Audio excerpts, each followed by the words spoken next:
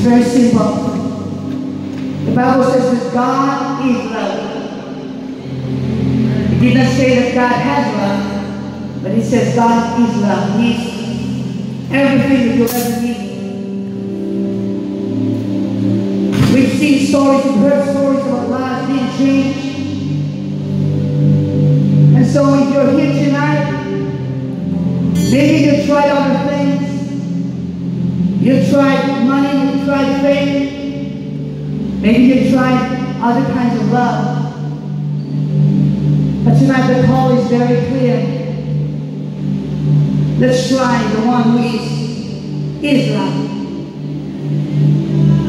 Amen. Encourage you tonight.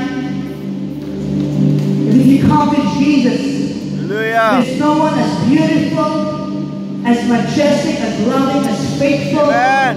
and as steadfast